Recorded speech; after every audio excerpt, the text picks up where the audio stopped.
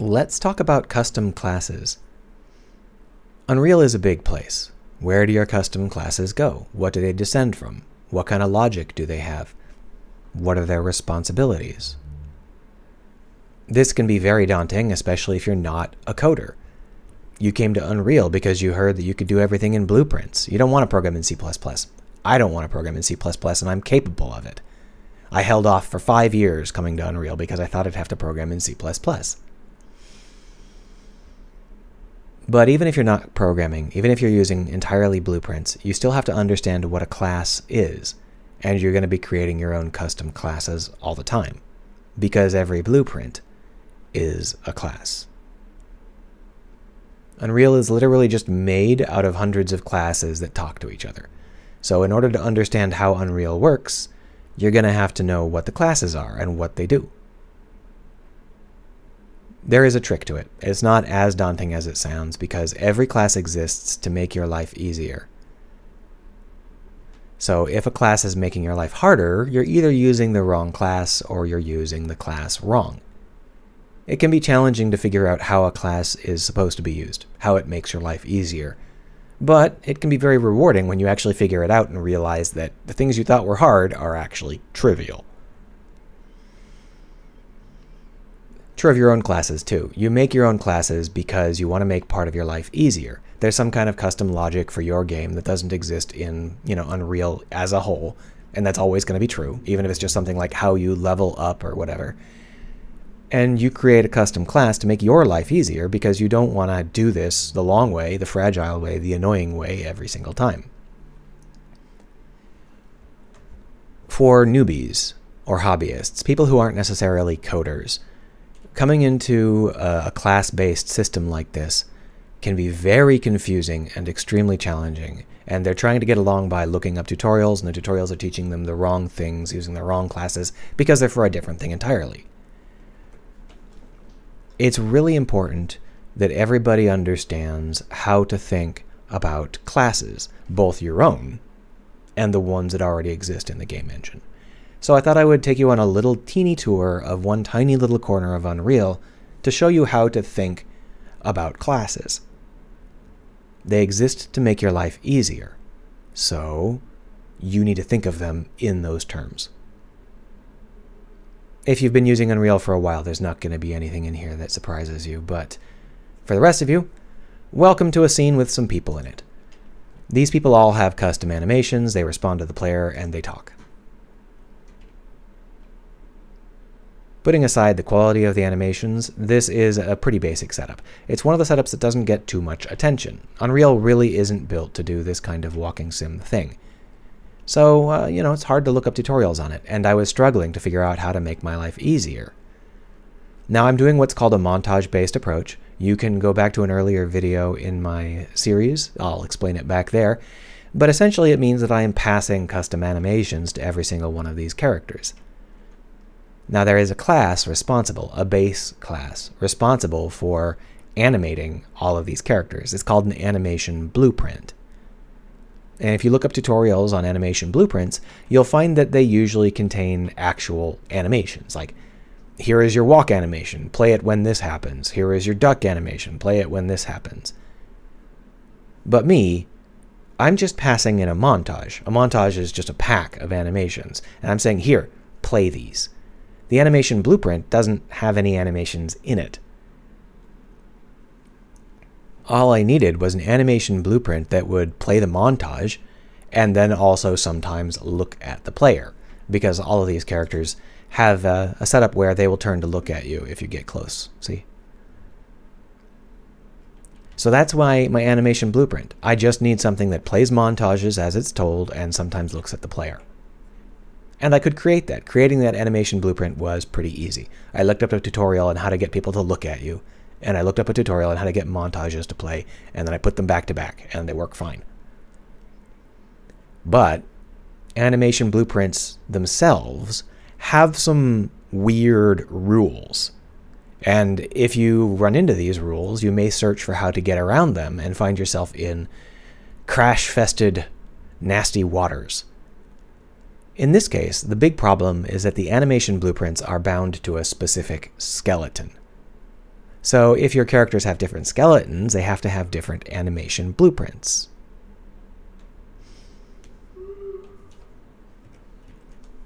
And I mean, my characters are all different sizes, right? Can these two characters really have the same skeleton? They're radically different sizes. Well, it turns out that Unreal, uh, yeah, their skeletons aren't skeletons. For reasons unknown to basically everybody on the planet, Unreal has chosen to use the word skeleton to mean something different from every other piece of software on the planet. And this is not something that is obvious if you're trying to look up how to use animation blueprints. In Unreal, a skeleton is just a list of names. In Blender, a skeleton is here's where that bone goes, and here's where that bone is pointed. But in Unreal, it's just here's the name of that bone. Because Unreal uses a skeleton to map animations to bones using those names as anchors.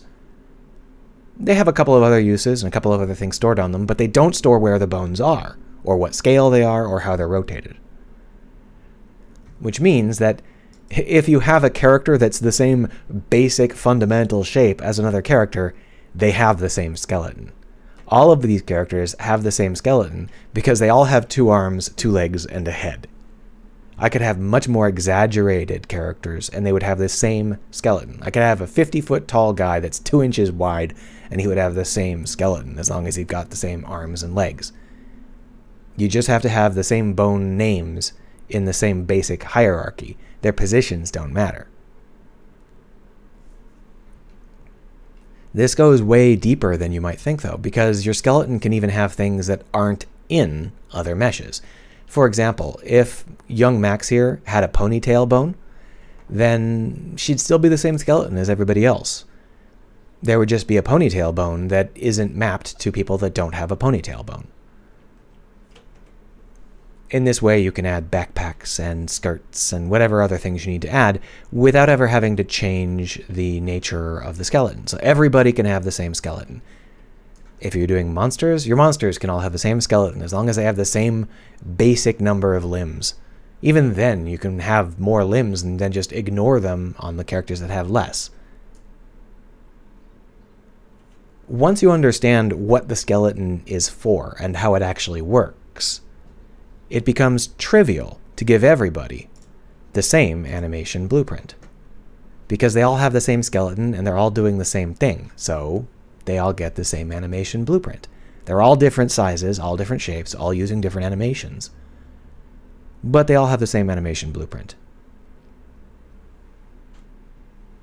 This is really important. I was struggling so hard to get my animation blueprints to work with different skeletons, and it never even occurred to me that I was misunderstanding the question in the first place. But, as I said before, if a class is making your life harder, you're using it wrong. And that's what I was doing. In this case, I had misunderstood one of the core foundational elements of Unreal. I didn't understand what a skeleton was, because it's different in Unreal than in everybody everywhere else on the planet. Once I understood it, the problem that was almost insurmountable became trivial. Now, if you're wondering how complicated this animation blueprint is, it's literally just play a montage if you're told to, and then do some eye tracking if you're told to. And this eye tracking stuff is just basically I looked up a tutorial on how to do eye tracking, and this is just that same tutorial but with some adjustments for my own personal preference. So I'm not going to go into detail on how to do eye tracking unless I get a big demand for it. But this is a very basic animation blueprint, and it does the job just fine. Everybody has the same one. The other half of this, though, is telling the animation blueprint what to play. All of these characters have their own animations, and you'll notice that the animation blueprint didn't have any animations on it. So how do you tell them what to play? Well, you pass them a montage, which is just a giant stack of animations. Uh, if you wanted to see a montage, uh, da, da, da, there, there's a montage. Mm, come on, give me a montage. There, this is a montage. See, it's just a bunch of animations, and then you've got some events that happen. I need to be able to pass this montage to the characters, have them play it from a specific section. Now previously, the way I did that was I did it through the level blueprint. And this is what that looks like. So here we see, on begin play, play a specific starting section of a specific montage. When you mouse over someone, play a specific section of a specific montage. When you mouse off of someone, play a specific section of a specific montage. And of course, there's some logic for being able to click on them and then say something. Now, this is not the best logic in the world. There's a few things wrong with it. But the big thing that's wrong with it is that it's annoying. Every time I create another character, I would have to cut and paste this entire block of nodes, and then I'd have to modify them modify this, modify this, modify this, modify this, modify all three of these, and that, and that. Every single character has to have a dozen nodes modified and like uh, two dozen nodes copied and pasted. It's getting complicated. It's getting miserable. Clearly, I need to make my life easier. So, all I have to do is create a class that does that work for me. In this case, the class I created was a descendant of the skeletal mesh actor class. To show you how to do that, you just select a skeletal mesh actor, like this character here. See, skeletal mesh actor? This is the base class that you get when you drag a skeletal mesh into a scene. It's responsible for, you know, giving the skeletal mesh a position in your scene and giving it an animation blueprint and that sort of stuff. It doesn't have any additional logic to it, but this would make sense as a place to put any sort of custom logic that this character would have. If I need this character to play specific animation montages when the mouse mouse is over them, it would make sense to put those animation montage a reference to those animation montages in this character, which is exactly what I did. So if you come over here and you press this button, you get the option to create a new subclass. That's exactly what I did. I created a new subclass called generic character. The new subclass has all of the same capabilities as the old class. It's identical in every way, except I can add more logic to it. And this is fundamentally the most common way that a dev will be creating new classes. There are exceptions. Sometimes you'll be creating classes that don't descend from anything else, but for the most part, this is how you do it. You want all of that same stuff, but with your own little logic on top. And the logic I added was mostly to tell it what variables to use. So here you can see that down here, I tell them, what what's this person's name? Uh, Joyce? No, her name is Shabbath the Invincible. And uh, she says, poor girl. Uh, and here's the montage she should play. We'll make her play Kate's montage. Or, or just to be funny, we'll make her play the child's montage. Here's a section to play in this situation, that situation, that situation. Does she respond when you click on her? Does she fire off a chat event when you click on her? I just set those variables up and told them to play. That's all I needed to do. So, exactly what does that class look like? Well, let's go ahead and bring this back around. Oh, I forgot to click on her so you could see Shoggoth the Invincible. Shoggoth the Invincible. There. So, the class looks like this. Also, I added in this ball. This ball exists just to make mousing over them a little bit easier. Since they're in motion, it's quite possible for you to, say, mouse over someone's arm, and then their arm moves, and they start to play the mouse off animation, which brings their arm back under your mouse. So I just gave them a big ball around them so that you wouldn't have to worry about that.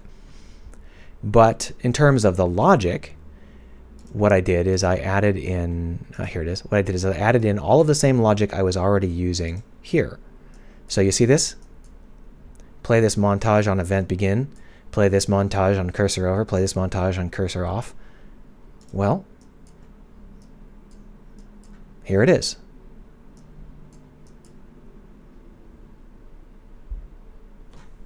Same stuff. I just put it somewhere where it would make my life easier and I wouldn't have to manually change a hundred different things.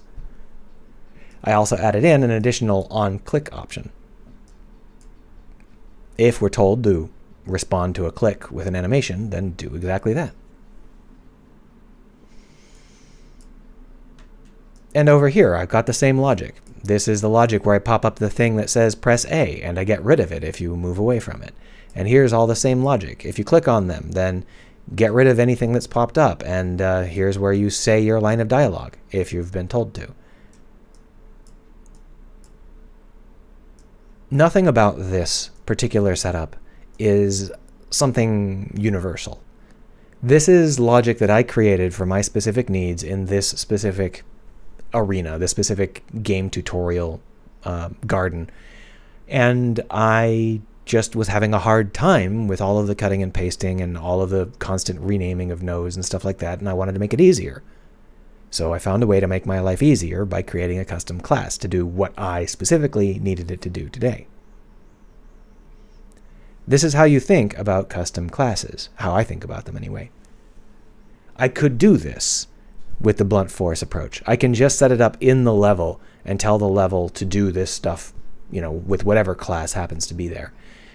But that didn't make sense after I had two or three of them. I needed a lot more. Uh, I needed more people, and they all needed to be doing the same things. It just just didn't make sense to constantly tell the level to do that stuff over and over and over. Package it up, put it somewhere nice. Once you've done that, you can start to add features that you wanted to have but were kind of annoying. For example, this collider. I wanted to have a collider around all the characters, but if I was doing it in the level, I would have to manually create a collider for each character in the level, move it into place, and scale it properly. But since these characters all have the same class, you can see that they all have that same collider around them. Similarly, I wanted to allow the characters to do something that maybe you didn't know was possible, depending on exactly how much Unreal experience you have. You see, not every character just wants to say a line of dialogue. Lots of characters might want to punch you in the face, or let you buy a cigarette, or walk away, or whatever else they want to do, right? But if all of the characters are just responding with this pop-up here, the default pop-up that we added into their character class, then we can't do that. So how do we get the capability to allow the characters to do anything when you click on them? Well, that's where the switch comes in. Uh, oh, I accidentally opened up the thing there. Uh, there we are. Sorry about that. Here's this switch. Fire chat event. If you're not supposed to fire a chat event, then you just go say that line of dialogue that you want to say. If you are supposed to fire the chat event, you just fire off an event. An event is just down here. I created a new event dispatcher. I named it chat. I didn't customize anything. I literally just hit that plus button and typed chat. What does this allow us to do? Well, it allows us to catch that event and do whatever we need to do with it. For example, back here in the level tutorial, in the level, in the level blueprint, here is Chloe. When Chloe chats, pop up a text widget, wait, delete it, pop up a different text widget, wait, delete it, pop up a different text widget, wait, delete it.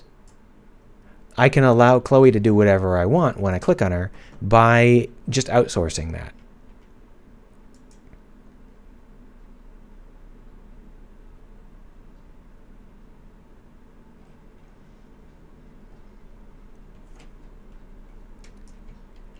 It's really important to understand where these lines get drawn. If I was going to try and put all of the logic for every possible response into those classes, it would be a nightmare. I'd have to come up with some kind of like scripting language or something. It would be really brutal. I'd have to create a hundred different subclasses, all of which field out various operations to other classes. It would just be, ugh, ugh, because these characters can do anything. I could have a building explode if I talk to them. I can do anything I want with these characters, or I should be. And making all of that logic somehow get contained within that class would be brutal. It would make my life very, very hard. Which, as you know, means that I'm either using the wrong class or using the class wrong. In this case, that kind of one-off level interaction makes more sense to put in the level. That's what the level blueprint is for. So that's where I put it. All I had to do was put in a little event that would allow this object to register that it had been clicked on in the level. So it fires off an event and the level is sitting there waiting for the event. Pretty basic. Now, I'm not going to tell you that this is some kind of magic solution. I'm just trying to tell you that when you're thinking about your own stuff, you need to think about how classes can make your life easier. If they're not making your life easier, then you're doing it wrong. You need to make your life as easy as possible because game dev is miserably difficult. And if you're making it harder than it needs to be, you're never going to get anywhere. So if you're having a really difficult time and you're trying to do something and it's turning into a complicated slog, chances are you're using the wrong class or you're using the class wrong. Now, obviously, there are exceptions, but at our level, using this kind of simple stuff, eh, you should be able to find a class that does what you need or figure out a way to make a very simple custom class that does what you need.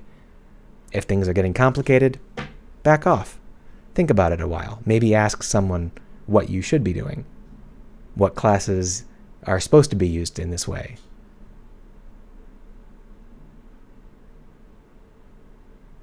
Anyway, that's my advice.